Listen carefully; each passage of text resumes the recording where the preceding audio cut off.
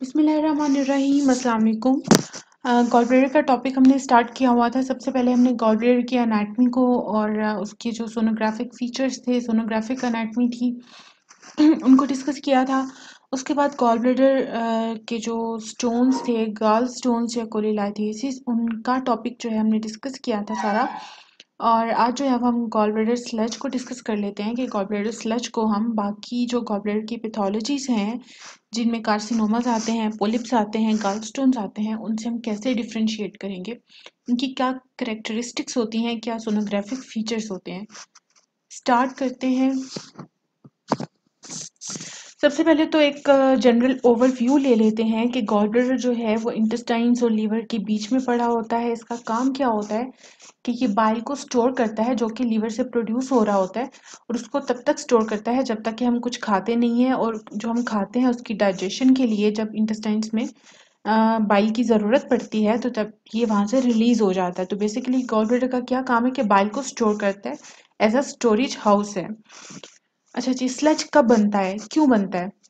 जब gall bladder completely empty नहीं होगा थोड़ा थोड़ा जो बाइल का पोर्शन है वो अंदर रह जाएगा तो काफ़ी देर तक गॉल ब्लेडर में पड़ा रहने की वजह से जो उसके कंपोनेंट्स हैं वो इकट्ठे हो जाते हैं, वो थिक हो जाते हैं और थिक होकर जो है वो गॉल ब्लेडर स्लज बना देते हैं। इसमें जो मेन कंपोनेंट्स होते हैं वो कैल्शियम बिलिरोबिनेट ग्रैन्यूल्स हैं और कोलेस्ट्रॉल क्रिस्टल्स हैं जो मिलकर थिक विस्कस बाल बना देते हैं, जिसको हम स्लज कहते हैं। बेसिकली ये लो लेवल होमोजीनियस इकोज हैं जो हमें गॉल ब्लेडर में मिलती हैं मोस्टली लेकिन कभी कभी जो है, ये हाई लेवल इकोस भी हो सकती हैं.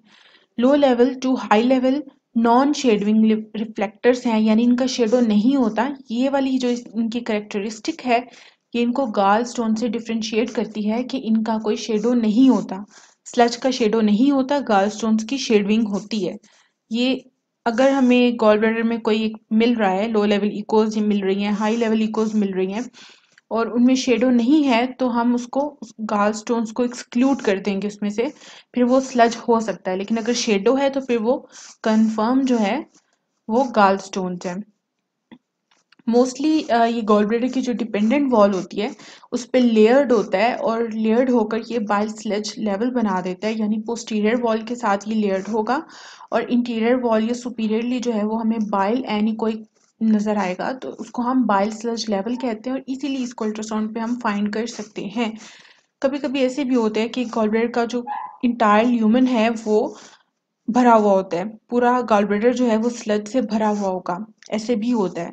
कुछ बार ऐसे होते हैं कि स्लज जो है वो मैस लाइक शेप में आ जाता है मैस लाइक एग्रीगेट्स बना देता है जिसको हम स्लज uh, बॉल्स कहते हैं और ट्यूम इफ़ेक्टिव स्लज कहते हैं।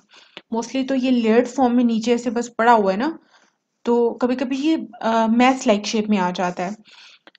और क्योंकि हमने देख लिया पहले कि इसका शेडो नहीं होता कभी कभी स्लज में जो है वो स्टोन्स भी हो सकते हैं साथ में इसके और उन स्टोन्स का शेडो होगा।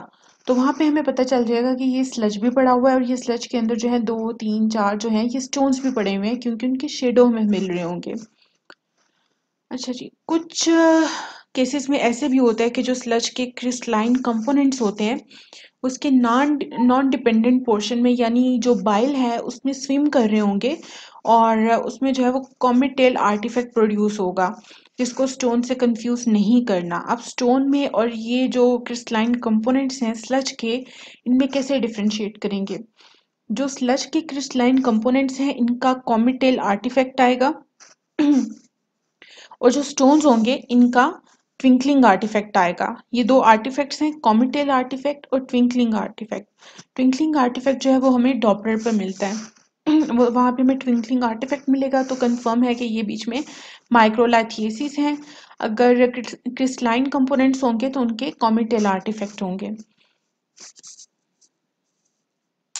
ये एक बहुत अच्छा इमेज है जिसमें सारी लेबलिंग भी हुई हुई है। सबसे पहले तो इंटीरियर साइड पर ये इंटीरियर एब्डोमिनल वॉल आ रही है, उसके नीचे लीवर का थोड़ा सा पार्ट है। फिर ये गॉल ब्लेडर है ट्रांसफर्स में गॉल ब्लेडर की वॉल है, उसके नीचे ये बाइल पड़ा हुआ है सारा एनिकोहिक और इसके डिपेंडेंट वॉल के साथ ये लेयर्ड है स्लज अब स्लज में जो है, ये हमें नीचे शेडो मिल रहा है, जो कि कंफर्म कर रहा है कि इसमें स्टोन्स हैं। और ये echogenic foci with posterior shadowing हमें मिल रहे हैं स्लज में। नेक्स्ट इमेज है इसमें लॉन्गिट्यूडनल गॉलब्रेडर हमें मिल रहा है लॉन्गिट्यूडनल व्यू है। ये बाइल स्लज लेवल इसको हम कह सकते हैं। सुपीरियरली हमें यहाँ पर बाइल नज़र आ रहा है जो कि एनिकोइक है और ये लियर्ड हुआ हुआ है यहाँ पर sludge low level homogeneous echoes हैं और इसमें जो है ये तीन कैलकुलस पड़े हुए हैं जिनके पोस्टीरियर शेड शेडोज भी हैं। अब यहाँ पे क्लियरली आप जो है वो डिफ्रेंशिएट कर सकते हैं कि ये सारा बाइल है और ये तीन जो है ये कैलकुलस हैं। इनका शेडो है बाइल का शेडो नहीं है। ट्रांसफर्स व्यू है और इसमें जो लेयर फार्म में जो है ये बाइल पड़ा हुआ है। सॉरी स्लज पड़ा हुआ है। ये बाइल जो है ये ऊपर है। बाइल स्लज लेवल बन रहा है यहाँ पर।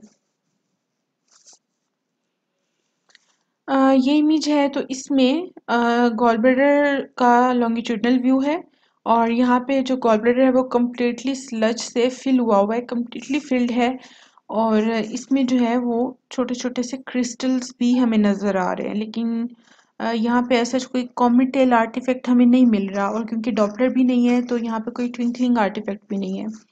अब यहाँ पर ये वाला इमेज बहुत अच्छा है एंडोस्कोपिक व्यू है कॉल का ल्यूमिन है और यहाँ पर लो लेवल इकोस तो हमें यहाँ पे नज़र आ रही है। ये देखें एन इकोइक नहीं है ये hypo echoic low level echoes हैं जो कि कंफर्म करती हैं कि स्लज है। अब स्लज के अंदर ये काफ़ी सारे जो है वो टाइनी क्रिस्टल्स पड़े हुए हैं जिनके कॉमिटेल आर्टिफैक्ट भी आ रहे हैं।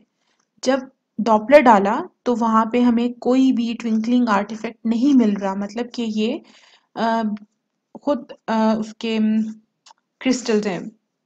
बाइल के खुद अपने जो कोलेस्ट्रॉल क्रिस्टल्स हैं, ये वो हैं, जिनका इसमें हमें कोई भी जो है वो ट्विंकलिंग आर्टिफैक्ट नहीं मिल रहा है डॉपलर पे तो कंफर्म जो है ये बाई जो स्लज के अपने क्रिस्टलाइन कंपोनेंट्स हैं बाइल के, ये वो हैं जो कॉम कॉमिटेल आर्टिफैक्ट प्रोड्यूस कर रहे हैं।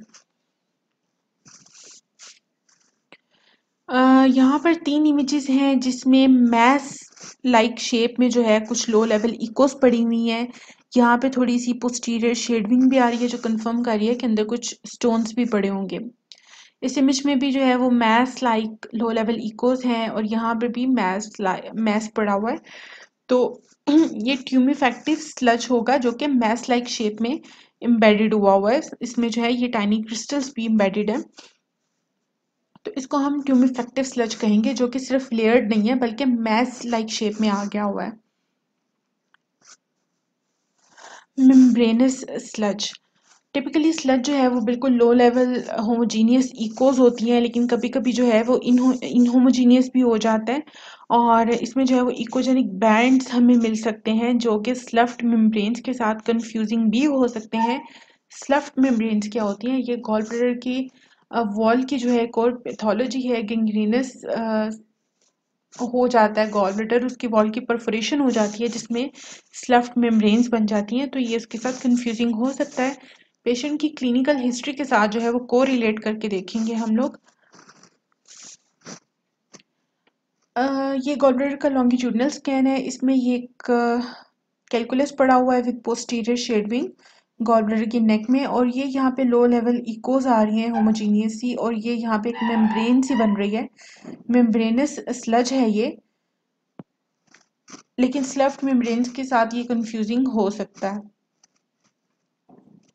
How to differentiate sludge from gallstones polyps and यहाँ पे सबकी जो है थोड़ी थोड़ी सी करेक्टरिस्टिक्स बताई गई हैं, जिनकी अगर आप समझ लें तो आप इजीली जो है वो स्लज को इन सबसे डिफ्रेंशिएट कर सकते हैं।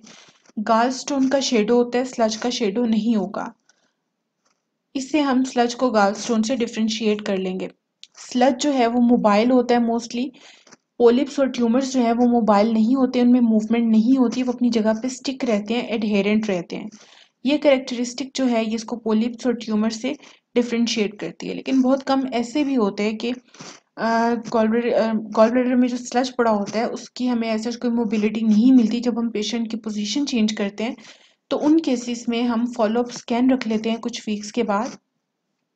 जब पेशेंट कुछ वीक्स के बाद आएगा तो हम प्रीवियस स्कैन के साथ कंपेयर करके देखेंगे कि तब स्लज की क्या सॉरी जो भी मैस पड़ा हुआ है, वो स्लज है, वो कार्सिनोमा है या पोलिप है तो उसकी क्या पोजीशन है उसकी लोकेशन क्या है एक्चुअली अगर तो लोकेशन सेम है तो फिर ऑब्वियसली वो पोलिप होगा। और अगर उसकी लोकेशन जो है, वो पहले से चेंज हो गई है तो वो मोबाइल है वो तो वो गॉल ब्लैडर का स्लज होगा। अगर उसकी अपेरेंस में चेंज आ रहा है तो फिर इसके थ्रू जो है, वो हम न्यूप्लाज्म से या कार्सिनोमा से इसको डिफ्रेंशिएट कर सकते हैं।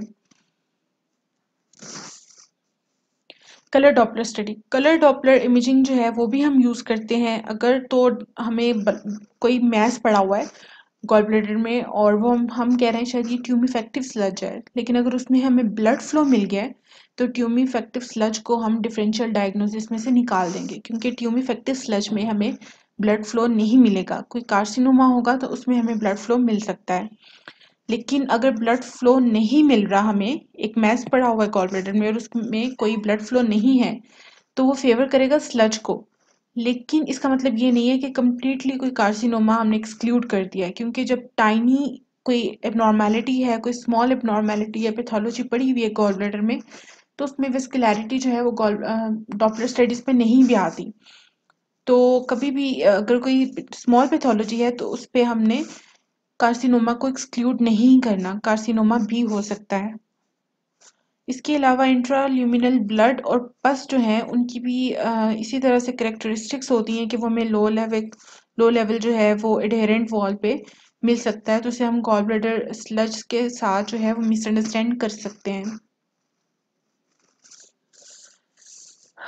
अच्छा जी, इसमें जो है लॉन्गिट्यूडनल स्कैन है गॉलब्लैडर का ल्यूमन कम्प्लीटली स्लज से भरा हुआ है टाइनी क्रिस्टल्स हैं इसमें, और ये थ्री एम एम से ज़्यादा बड़ा क्रिस्टल भी पड़ा हुआ है कैलकुलस पड़ा हुआ है, क्योंकि इसका हमें बहुत प्रोमिनेंट शेडो मिल रहा है।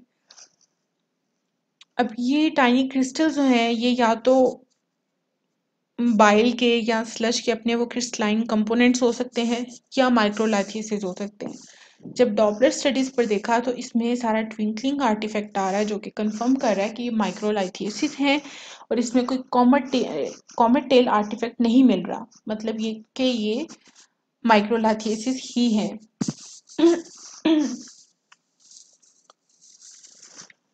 एक बार दोबारा जो है ये सारी करेक्टरिस्टिक्स को एक एक स्लाइड में जो है कंबाइन करके देख लेते हैं। थोड़ा सा कंफ्यूजिंग होगा लेकिन जब थोड़ा सा एक दो बार पढ़ेंगे आप इन चीज़ों को तो ये बहुत ईजी हो जाएँगे आपके लिए। गॉल ब्लेडर स्लज जो है, वो लो लेवल होमोजीनियस इकोस होती हैं, जो कि गॉल ब्लेडर की पोस्टीरियर वॉल पे लेयर्ड होती हैं और ज़्यादातर जो है, वो फ्लूड फ्लूड लेवल या बाइल स्लज लेवल बनाती हैं। जब पेशेंट मूव करता है तो पेशेंट की मूवमेंट के साथ ये स्लज जो है, ये भी अपनी पोजीशन चेंज करता है। स्लज जो है वो कोई भी शेडो कॉज नहीं करता जब तक कि उसमें गाल स्टोन्स ना हो। गाल स्टोन्स होंगे तो सिर्फ़ गाल स्टोन का शेडो होगा स्लज का फिर भी कोई शेडो नहीं होगा। स्लज जो है वो मैथ लाइक फॉर्म भी बना सकता है मैस लाइक एग्रीगेट्स भी बना सकता है लियंस भी बना सकता है, जिसको स्लज बॉल या ट्यूमिफेक्टिव स्लज कहते हैं, और उसमें हमें कॉमेटेल आर्टिफैक्ट्स भी मिल सकते हैं। अब जो ट्यूमिफेक्टिव स्लच होगा, उसकी क्या करेक्टरिस्टिक्स हैं? Hypoechogenic well defined intraluminal mass होगा। पोस्टीरियर शेडविंग नहीं होगी इसकी। कोई इंटरनल वेस्कुलरिटी नहीं होगी जब तक कि माइक सॉरी इंटरनल वेस्कुलरिटी नहीं होगी स्लच में। लेकिन हमें इसमें ट्विंकलिंग आर्टिफैक्ट मिल सकता है जब माइक्रोलाइथियसिस होंगे। माइक्रोलाइथियसिस हैं अंदर तो ट्विंकलिंग आर्टिफैक्ट मिलेगा। लेकिन अगर कॉमिटेल आर्टिफैक्ट मिल रहा है ट्यूमिफेक्टिव स्लज है तो उसमें कोई इसकी इंटरनल अपनी विस्कुलरिटी नहीं होगी। मोबिलिटी जो है, इसमें वो डिपेंड करती है। मोस्टली जो है, वो मोबाइल होता है, लेकिन कभी कभी हमें इसकी मूवमेंट नहीं भी नज़र आती। तो उसमें जो है, वो डिफरेंशियल डायग्नोसिस में पोलिप्स और गॉलब्लेडर कार्सिनोमा आ जाता है। इसमें फिर वही है कि फॉलोअप स्कैन पर हम इसकी लोकेशन और शेप को देखकर इसको डिफ्रेंशिएट करेंगे। गॉल ब्लेडर की जो क्लिनिकल सिग्निफिकेंस है, इसको देखने की गॉल ब्लेडर स्लज को, वो ऐसे क्लियर नहीं है कि गॉल ब्लेडर स्लज को हमें देखना बहुत ज़रूरी क्यों है, लेकिन कुछ केसेस ऐसे भी होते हैं जिसमें जो स्टोन फॉर्मेशन होती है गॉल स्टोन फॉर्मेशन होती है, उसकी अर्ली स्टेजेस होती हैं स्लज की। स्लज बनेगा पहले, उसके बाद आहिस्ता आहिस्ता जो है वो गाल स्टोन्स बन जाते हैं। तो इसलिए इसको जो है वो डायग्नोस करना ज़रूरी है। इसके अलावा अगर किसी बहुत सारे माइनर केसेस ऐसे होते हैं जिसमें पेशेंट को पिंक्रेटाइटिस हो गया, कोई अननोन रीजन का कुछ समझ नहीं आ रहा क्या हुआ इसको सडनली क्यों हो गया? तो उसमें जो है वो हमें स्लज मिल सकता है और कॉलब्रेडर स्लज को जो है वो डायग्नोज हम करेंगे और उसमें बिलरी क्रिस्टल्स जो है वो पिंक्रेटाइज पिंक्रेटाइटिस कॉज करेंगे। तो उसमें जो है वो स्लच की थोड़ी इंपॉर्टेंस हो जाती है कि हाँ ये कॉम्प्लिकेशंस कॉज कर सकता है, लेकिन ऐसा स्लच की कोई बहुत ज़्यादा कॉम्प्लिकेशंस नहीं होती हैं मोस्टली ये एसिम्टोमेटिक होता है। जब ये सिम्टम्स कॉज करता है तो ये जो गॉल स्टोन्स के सिम्टम्स होते हैं सेम वही सिम्टम्स स्लज में भी आ जाते हैं। Differential diagnosis